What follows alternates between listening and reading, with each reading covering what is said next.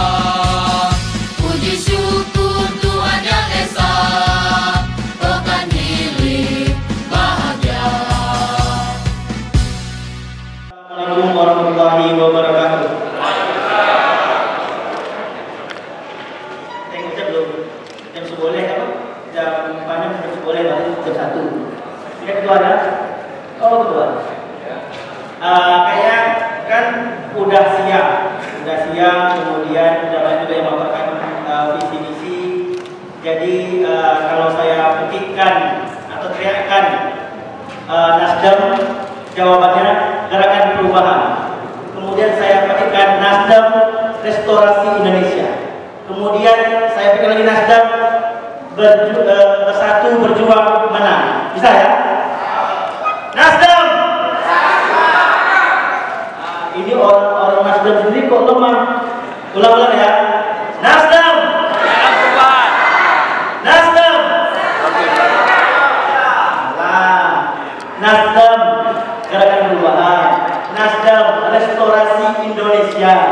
Nasdem bersatu berjuang menang.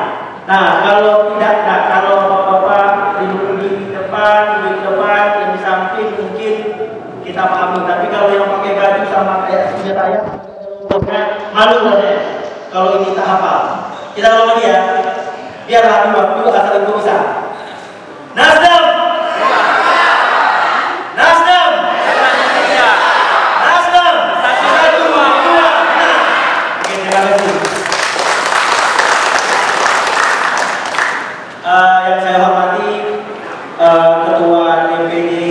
Jibril beserta jajaran yang saya hormati uh, eh, Bapak Ibu, saudara-saudari kami saya sebutkan satu persatu.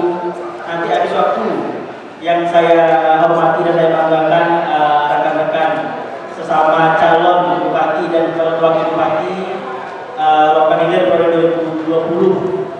Kalau tadi kata Kanda Citra mungkin tak sampai 2021 eh 22 mana sampai 2024. Uh, eh, jadi kalau saya tak usah banyak-banyak. Kalau banyak-banyak nanti kantuk. Dan udah banyak itu disampaikan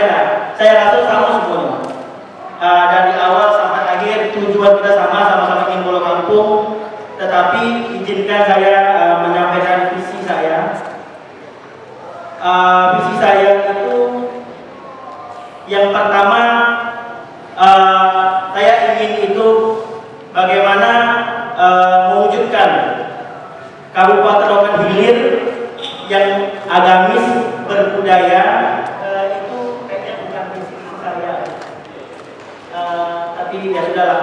Uh, mewujudkan kabupaten hilir yang agamis berbudaya maju dan sejahtera dengan uh, didampingi atau berbarengan dengan uh, pemerintah yang profesional.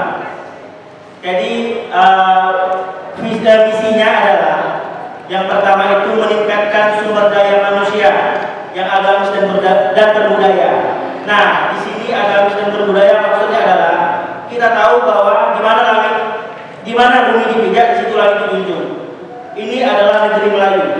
Walaupun di negeri Melayu ini terdiri dari suku-suku yang lain, tetapi hal ini banyak terlupakan. Contoh, banyak dulu waktu saya masih sekolah SD, itu banyak dan ada pelajaran Arab Melayu, tetapi sekarang sudah ditinggalkan. Nah, maksud saya hal-hal yang sekecil-sekecil itu akan saya prioritaskan. Kemudian agamisnya ini saya berkeinginan, bercita-cita satu desa, satu hafiz selama periodisasi saya. Kemudian uh, saya ingin meningkatkan kualitas pendidikan. Kalau ditanya sekarang sudah bagus sudah, ingin lebih bagus lagi. Bagaimana lebih bagus lagi? Yang ditemukan di lapangan sekarang adalah sekolah yang berstandar nasional itu jarang diperhatikan oleh pemerintah. Kenapa? Karena alasannya sudah ini sudah standar nasional. Yang kita perhatikan adalah sekolah yang di bawah itu. Tapi itu salah.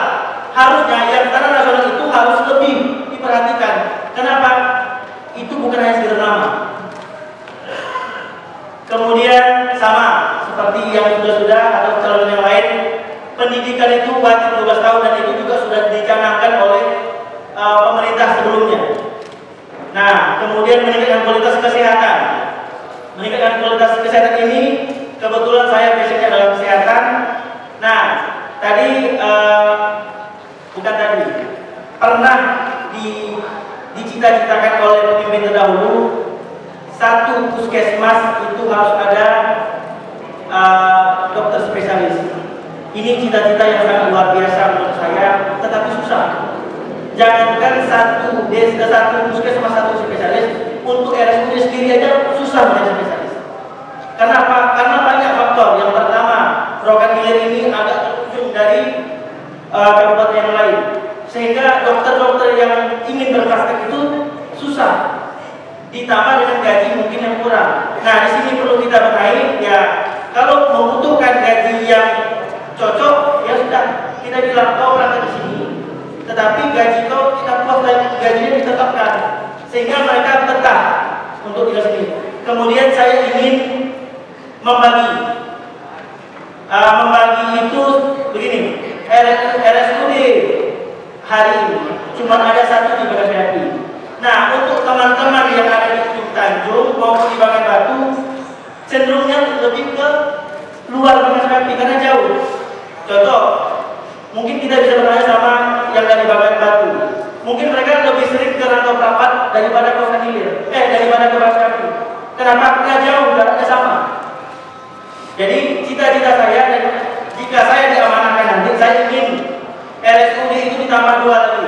Satu di sekitar Ujung Tanjung dan satu lagi di sekitar Bagan Batu. Sehingga masyarakat tempatan tidak perlu jauh-jauh untuk Basapi untuk berobat. Kemudian infrastruktur yang merata. Nah, kita ini emang dilema. Contoh seperti yang kita alami di Pasir Lima Kapas.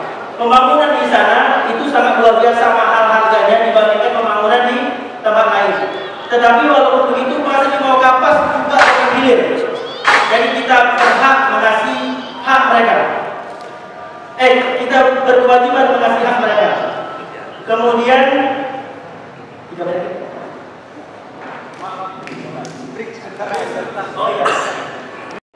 Yang terakhir itu adalah pemerintahan yang profesional. Nah, kenapa saya katakan pemerintahan yang profesional selama ini atau uh, bukan selama ini banyak banyak uh, tamatannya itu kesehatan tetapi diletakkan di bidang yang ekonomi atau sebaliknya. Nah, ini kan tidak pas. Jadi saya ingin letakkan uh, staf atau pegawai negeri itu sesuai bidangnya sehingga ini bisa menjadi kekuatan. Karena bupati itu hanyalah uh, sementara kalau bupati hanya kerja sendiri ya tidak akan bisa atau tidak akan terwujud cita-cita yang mulia tersebut. Jadi menurut saya di sini